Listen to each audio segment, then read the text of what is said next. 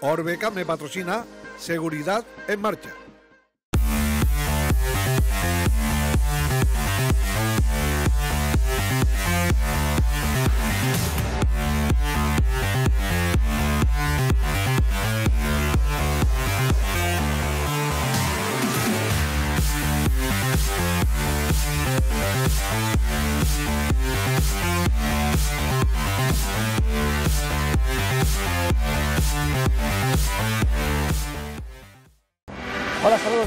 A Seguridad en Marcha. Aquí, como cada semana, les informamos y aconsejamos sobre temas relacionados con la seguridad vial. A continuación, en el sumario, les vamos a ofrecer el contenido que abordaremos en el programa de hoy. En serie animada, hoy, consejos sobre el cinturón de seguridad. Profesionales de la autoescuela Velo nos indican la correcta posición al volante.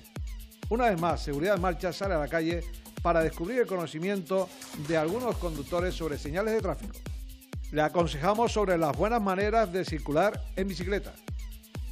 Profesional de Eurocanarias Clínica Oftalmológica nos habla sobre el humor vitrio. ¿Cuál es la forma más segura de circular con un vehículo de dos ruedas? Seguridad en marcha. A través de una animación les mostramos cómo usar correctamente el cinturón de seguridad. Mensaje para los más pequeños, pero al que los mayores debemos prestarle mucha atención.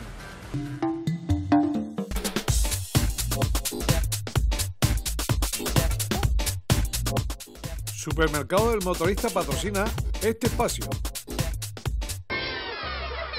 El cinturón de seguridad.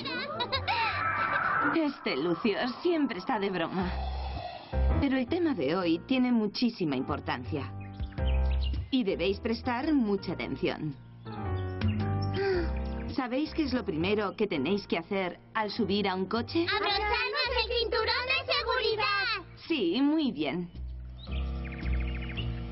Y ahora voy a dibujar uno, aunque es algo que ya conocéis todos.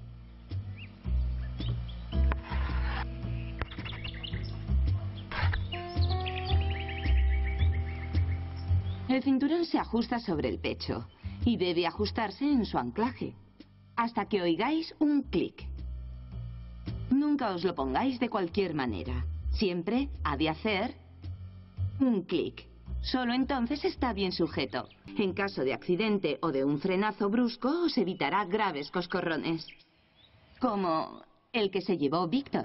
Veámoslo.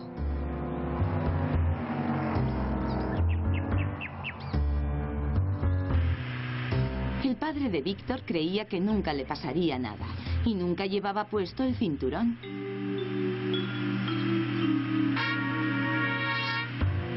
Como siempre, andaba jugando y aunque llevaba el cinturón, lo llevaba mal puesto, pues su padre nunca se preocupó de enseñarle cómo debía hacerlo.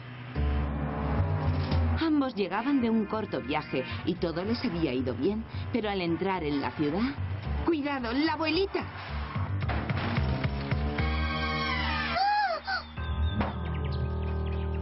Pobre mujer, menudo susto. ¿Y ellos? Vaya golpe.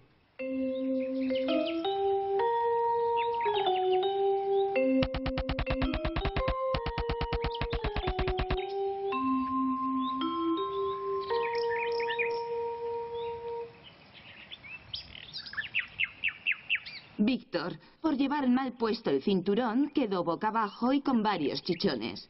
¿Y su padre? Con otros tantos más. Pero podía haber traspasado el parabrisas y... Eso es, Lucio. Podía haber sido mucho peor. Mejor no verlo. Así que nunca lo olvidéis. Cuando vayáis en coche siempre debéis llevar puesto... ¡El cinturón de seguridad! Pues nunca se sabe cuándo va a surgir un imprevisto. Como le surgió a la madre de Carla. Ella siempre lleva el cinturón de seguridad y también se preocupa de que Carla lo lleve bien puesto. Siempre se asegura de que haga clic.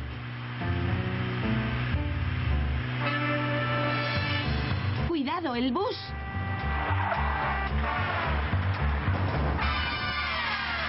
¿Veis? Siempre podemos encontrarnos con un peligro, pero el cinturón ha evitado que se hicieran daño. Por ello es tan importante viajar con el cinturón de seguridad bien puesto, como hacen siempre Carla y su madre, que por cierto se merecen luz verde, Lucio. Por hoy, esto es todo, amiguitos. Y recordad, para evitar un coscorrón, ¡Tiene que hacer el cinturón!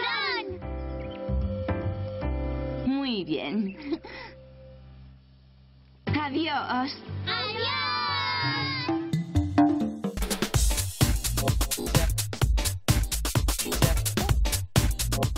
Supermercado del Motorista ha patrocinado este espacio.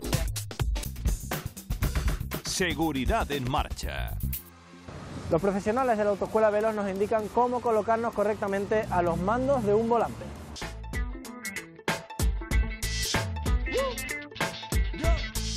Velox patrocina este espacio.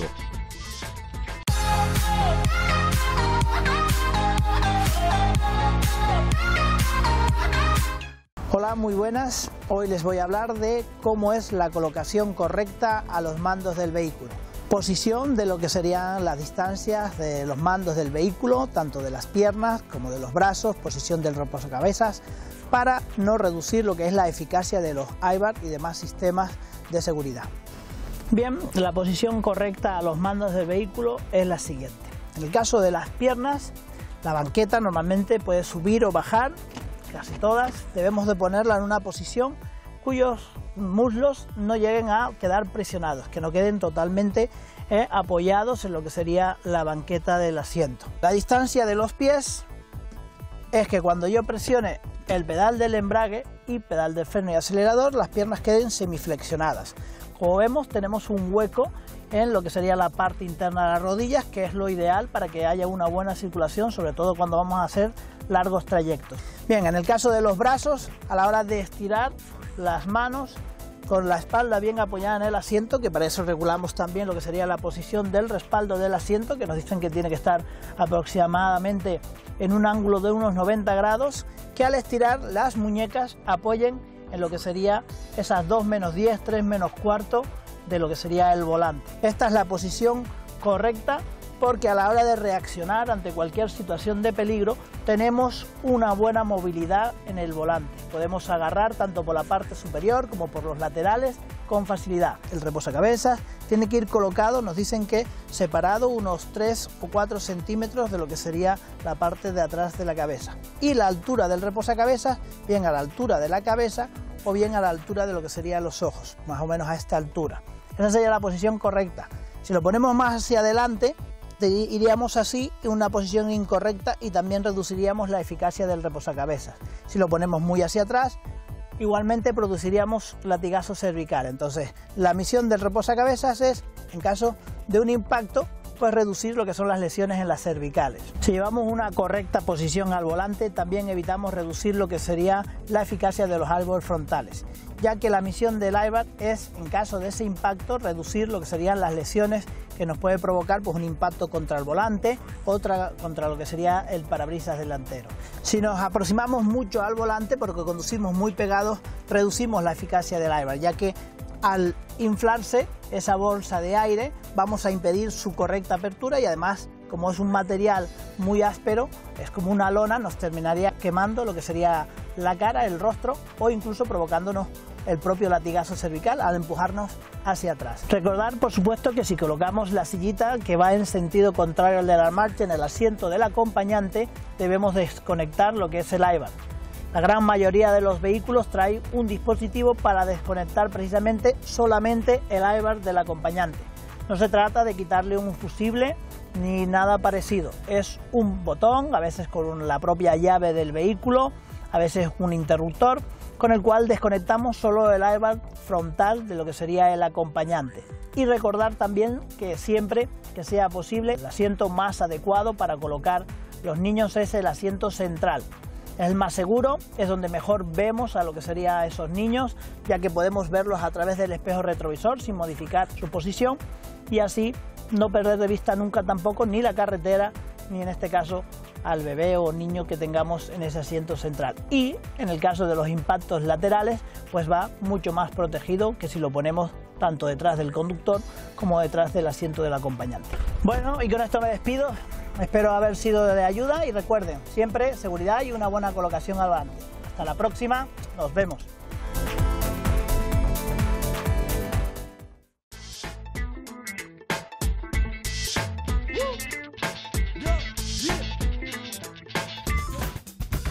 Seguridad en marcha.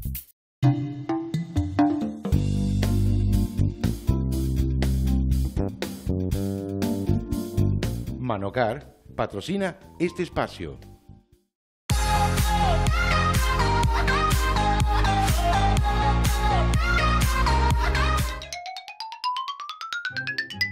Ah, sí, Sí. sabes cuál es la señal. Sí, sí, prohibido el paso. ¿sí? Eh, sí, prohibido el paso. Eh, él es el conductor, yo no. Prohibido. Prohibido el paso. mismo no sé, o sea, la- con el círculo rojo así, eso es prohibido algo y no sé si prohibido pasar por ahí. Eh, sí, que hay un control cerca, ¿no? Prohibido el paso, ¿no? Eh, prohibido aparcar. Puesto de control, ¿no? Bueno, me parece, creo. Algo de prohibido, pero no sé, de prohibición. Ah, eso es nuevo, entonces yo no, cuando estudié no existía.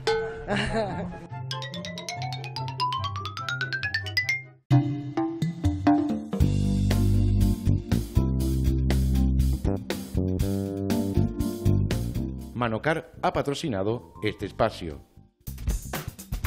Seguridad en marcha. La bicicleta es el vehículo más vulnerable en la carretera. Por ello, el resto de vehículos debemos respetar las medidas de seguridad vigentes que existen.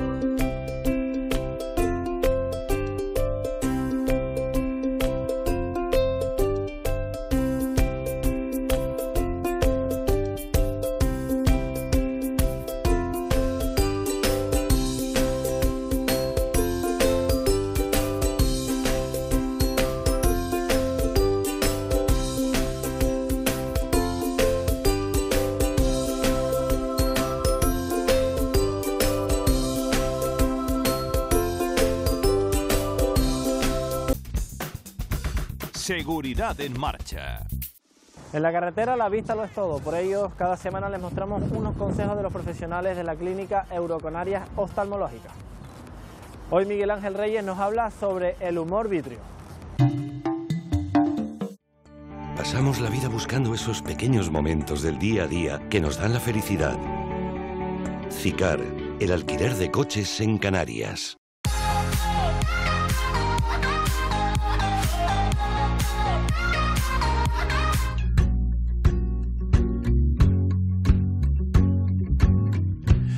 Fleeting. Bueno, uno de los motivos por los que nos llegan muchos pacientes de todas las edades a las consultas es por la presencia de lo que llamamos moscas volantes o puntos negros en nuestro campo de visión que interfiere de una forma más o menos importante en nuestra calidad de visión. Realmente las moscas volantes no deja de ser otra cosa que opacidades en el vitrio y el vitrio es una gelatina que se encuentra en el interior de nuestros ojos que está además pegado a la retina, que inicialmente es una gelatina transparente que no percibimos, pero que con el paso de los años, fundamentalmente, por lo tanto, asociado a la edad, aunque también es cierto que algunos pacientes por miopías elevadas tienen una degeneración del vitrio precoz, se produce una opacidad a nivel de esas estructuras transparentes. Eso es lo que el paciente percibe como puntos negros, con lo que habitualmente consiguen habituarse y vivir de una forma normal sin ningún tipo de problema. Bueno, otra situación distinta es cuando ese gel vitrio, que decía que fisiológicamente está unido a la retina, con el paso de los años se debilita y se desprende de la retina.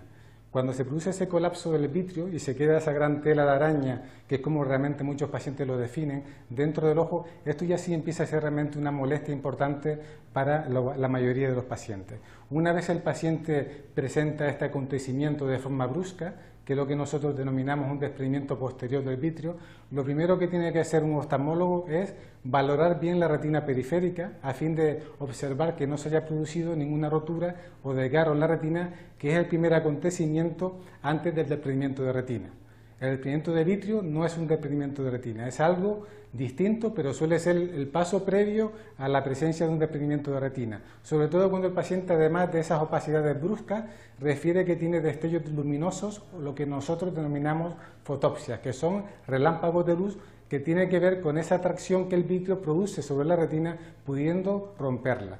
Una vez nosotros demostramos que el vitrio se ha desprendido pero no ha producido ningún daño en la retina, tenemos que informar al paciente que realmente no tiene una enfermedad invalidante de forma importante, aunque sí es cierto que es muy molesto para ciertas profesiones y que algunos pacientes demandan una atención terapéutica antes o después porque reconocen que esto les dificulta de una forma seria realizar su vida en condiciones normales. Uno de los tratamientos que realmente son eh, son muy efectivos en el tratamiento de las opacidades vítreas es la realización de una microcirugía que se llama vitrectomía, que consiste en eliminar el gel vitrio mediante una cirugía que se realiza con anestesia local.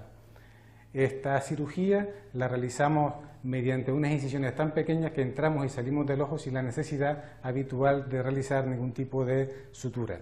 Es cierto que es una cirugía que durante muchos, muchos años hemos considerado muy agresiva para solucionar este problema, pero hoy en día la tasa de resultados y complicaciones inherentes a este procedimiento realmente es bastante bajo. Hay otro tratamiento del que todavía no se dispone mucha experiencia, que es el uso de un láser para realizar lo que denominamos vitriolisis, que es un láser jack que intenta vaporizar también esas opacidades. Hay muy pocos centros que tienen todavía ese aparato, por lo tanto estamos esperando un poquito la evidencia en cuanto a resultados aplicados con este láser para saber si también puede ser un tratamiento ideal para este tipo de patología.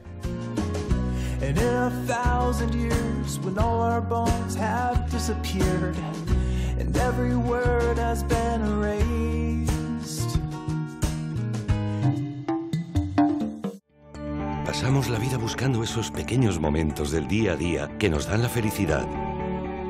CICAR, el alquiler de coches en Canarias. Seguridad en marcha. En el siguiente vídeo le ofrecemos la posibilidad que se le han dado a otros conductores de coches y motos para intercambiar sus vehículos y así ponerse uno en la piel del otro. ¿Qué pasaría si un día cualquiera tuvieras la oportunidad de cambiar tu manera de ver las cosas. Buscamos voluntarios que presten su moto a conductores de coche dispuestos a cambiar el volante por el casco unos días. Un experimento con el que todos los que compartimos asfalto cambiaremos nuestra percepción de los demás. Te dejo mi moto, una acción de conductor a conductor. Mi nombre es Sandra y mi medio de transporte es la moto. Es el medio de transporte que utilizo siempre porque me da, aparte de seguridad, me resulta muy cómoda. Van todo el rato zigzagueando y apurando al máximo. Que hay veces que los coches pues que nos pasan muy cerca. Creo que si todos prestáramos más atención a la conducción de los demás, nos evitaríamos muchos de los sustos que nos llevamos. Porque el primer paso para cambiar una opinión es cambiar el punto de vista. También que hay mucha gente que piensa que la moto es como el enemigo al que no hay que dejar pasar. Con el coche que voy, pegado a la derecha, pegado a la izquierda, me pueden pasar motos por la derecha, me pueden pasar por la izquierda pisando la línea continua. Tú cuando estás conduciendo tienes que estar con 5.000 ojos. Un conductor de coche debería ser consciente que una moto es también un vehículo. Una moto, mucha gente en un coche no la ve. ¿Cómo utilizan la mayoría de las motos el carril bus? Entran y salen dependiendo del tráfico que haya. No creo que todos los, los moteros seamos unos Los que van imprudentes. en moto a lo mejor no deberían de ser tan osados que los que vamos en coche tendríamos que prestar un poco más de atención a, a lo que tenemos alrededor.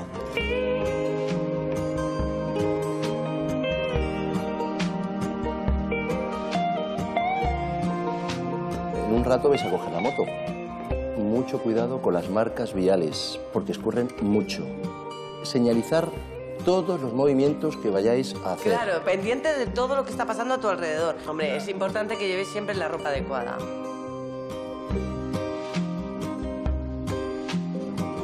La verdad que de conductor a conductor voy a reconocer que tenemos tanta culpa unos como otros de lo que pasa y debemos ir todos atentos al resto. He tomado mucha conciencia de lo mal que podemos llegar a hacer las cosas. Continúa la conversación en redes sociales. Te dejo mi moto, una acción de conductor a conductor. Seguridad en marcha. Bueno, pues esto ha sido todo por hoy. La próxima semana, como ya saben, más información y consejos sobre temas relacionados con la seguridad vial. Y será aquí, en Seguridad en Marcha. Les espero.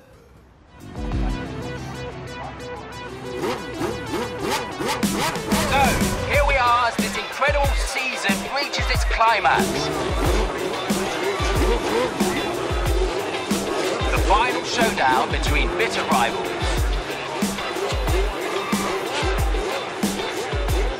This is what it all comes down to. One final race.